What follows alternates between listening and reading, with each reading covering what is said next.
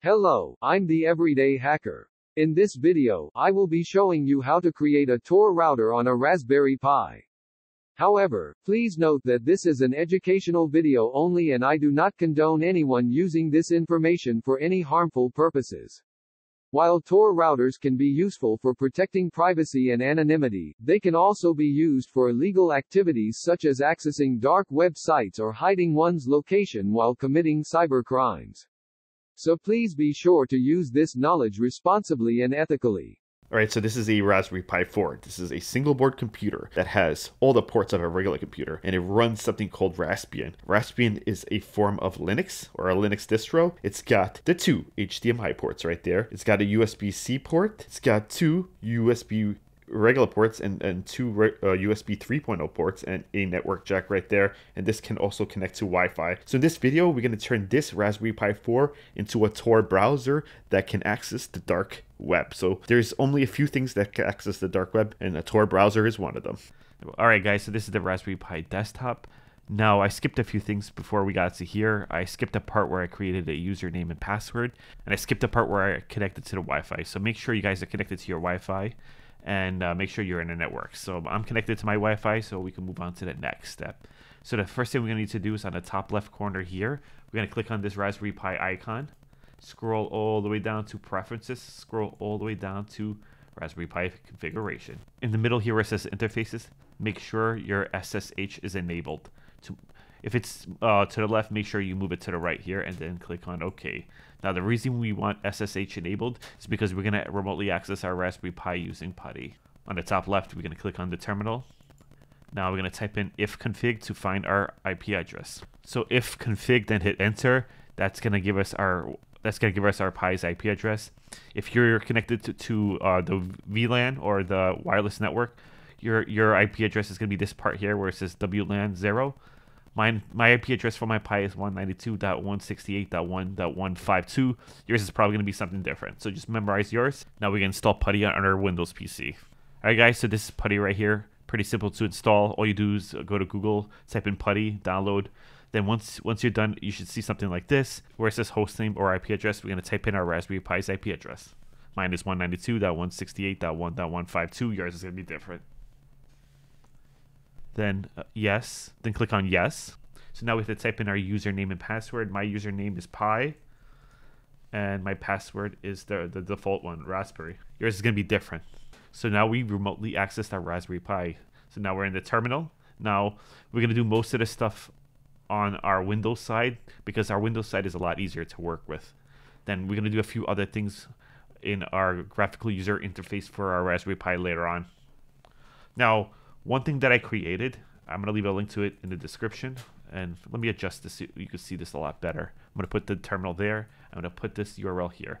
So I created a text document with all the instructions needed to finish this, to get this to work. But uh, you guys don't have to like type everything in. So you could just copy and paste like I'm about to do. So under step one, we're going to copy this code here, sudo apt-get install tor. We're not going to copy the quotations, by the way everything but the quotations. We're going to hit enter. So this is going to install the Tor browser.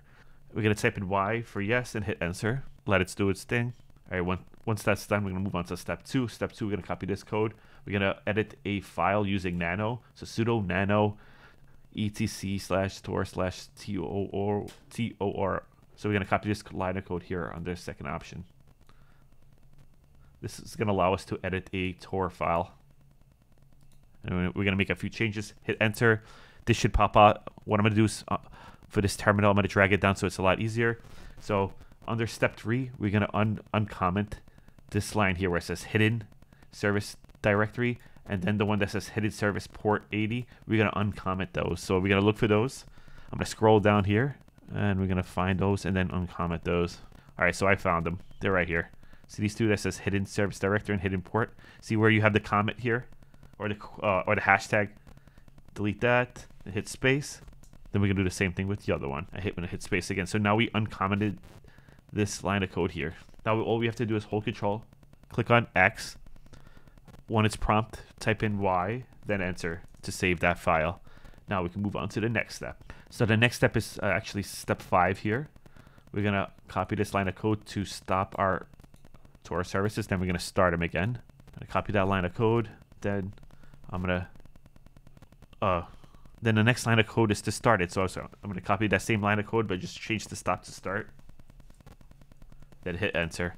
So now we're starting Tor services. So now we're to check the status of our services, and that's number six here. So we're to copy this line of code here to check the status of our services. We're to paste it. We're to hit enter. Now, if everything's working well, under active here, uh, we have an active with green writing right next to it. If we see the green writing and it says active, that means it's working. So now all we have to do is hold control type Z, right? And we're going to restart our services again. So we're going to make sure we go back to where it says uh, services start again to start the services. So our services started again. Now we're going to move on to the next step. The next step is to get our Tor IP address. So this is th this line of code here. It's going to allow us to do that. Paste it here. That's number seven. Hit enter. If you got this string with a dot on it at the end, that means it's working. So copy yours. I'm going to copy mine make sure you paste it in a secure area because we're going to need to use it at the end. Make sure you paste it somewhere safe and uh, we're going to use it later on. So our next step is to install something called nginx. nginx is a web server. This is the thing that's going to allow us uh, a way to host something onto the dark web. So it's pretty cool. It's pretty fast, and I'll show you how it works. So we're going to copy the code under step 8 here, and we're going to install that web server. Type Y, then hit enter. So I'm going to skip 9 where we check the status. It should be working. And uh, we're going to go to step number 10. I'm to copy this line of code. We're going to edit another file. We're to hit enter. Now in that file, we, we're going to uncomment uh, two lines of code here. So we're to uncomment where it says server token off. And we're going to uncomment something where it says server name and redirect. Scroll down and look for those two items. So I found it right here where it says server token off.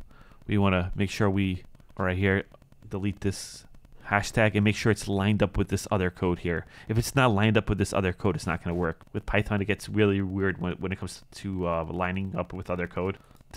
Make sure, again, we just deleted that server token off the, the, the, hashtag in front of it and we made sure we lined it up in front of this right here. Now we're going to do the same thing with server name in redirect. So server name in redirect, redirect is this line here. So we're going to scroll down. We're going to do the same thing. We're going to make sure we delete that hashtag thing, but we're going to also make sure it's lined up with the other ones.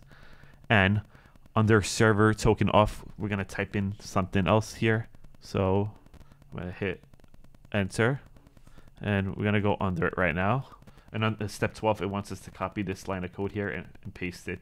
See, under the server token off that we just uncommented right here, it wants us to copy this line of code and paste it under there. So port underscore in underscore redirect space off semicolon. So we're going to copy this under the server token off. Make sure make sure it's lined up as well. And once once that's done, we're going to hit Control. Going to uh, press X. Going to press Y. Then we're going to press Enter. And we're we saved that file successfully. Now we exited the Nano.